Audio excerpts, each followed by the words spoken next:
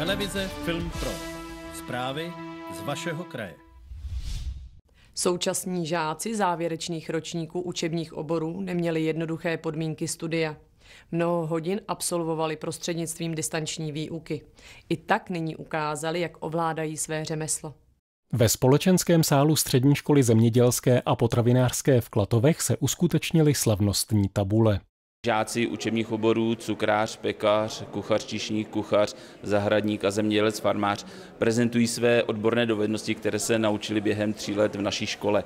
Takže jsou zde k vidění slavnostní tabule, výrobky kuchařské, pekařské, cukrářské. Zahradníci zde prezentují své výpěstky, výtvory a zemědělci také prezentují činnosti během zemědělského roku. V začátku bych vám chtěl poděkovat vám a rodičům, který před třemi lety jste se rozhodli pro tento obor, službový obor nebo službové obory, který tady dneska budete prezentovat, protože mají velkou uplatnitelnost na trhu práce a samozřejmě nás jako veřejnost všichni budeme potřebovat. Chtěl bych vám všem poděkovat za to, že jste si vybrali před třemi lety naši školu.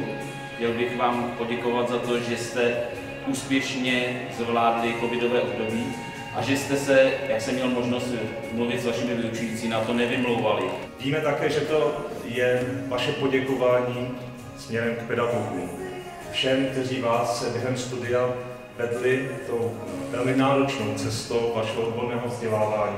Přeji vám, abyste zvládli závěrečné zkoušky už teď, v červnu, aby jsme nemuseli v září, kdy se potřebujeme věnovat už novým žákům, aby jsme nemuseli s vámi dělat nějaké opravné zkoušky. Žáci tříletých oborů dnes vlastně prezentují své dovednosti v těch oborech, ve kterých se vzdělávají a dnes mají příležitost žáci základních škol, ale také veřejnost se seznámit s jednotlivými obory, které střední škola zemědělská a potravinářská nabízí. Je vždy překvapující vidět na vlastní oči výsledky jejich činností toho, co se za tři roky svého studia naučili a co dokáží prezentovat osobně sami tady před veřejností.